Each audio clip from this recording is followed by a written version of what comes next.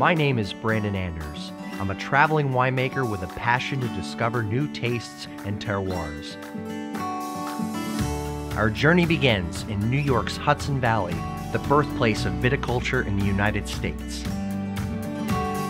So pop some corks and join me for a celebration of wine. I'm Brandon Anders, and this is Wine Whoopee.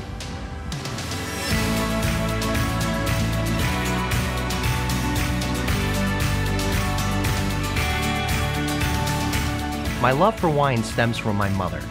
After sharing a bottle of California Cabernet with her, I was so intrigued by the nuances of the wine that I made it a point to try a different bottle of wine each week.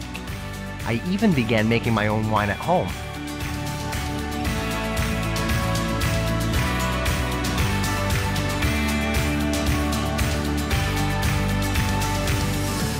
With the desire to gain more experience in wine production, I worked my first harvest at Siduri Wines in California's Russian River Valley. Since then, I've continued to produce my own wine on a boutique level while working harvest each year. Being born in the Hudson Valley has given me the opportunity to share this often overlooked and underrated wine growing region.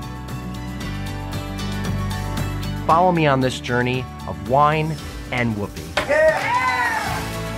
On this season of Wine Whoopee, I visit Benmarl Winery, the oldest vineyard in the United States, and uncover its enchanting history.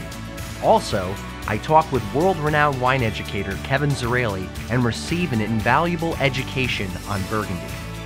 From there, I meet with the Robibero family, where their forgotten vineyard is producing some of the most mysterious Cab Franc.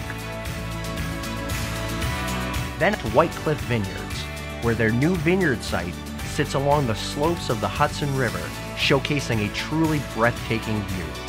To cap off my journey, I meet with Millbrook Vineyards, a place so revered in its influence on the region and expertise in growing vinifera varietals, and much more on season one of Wine Whoopee with Brandon Anders.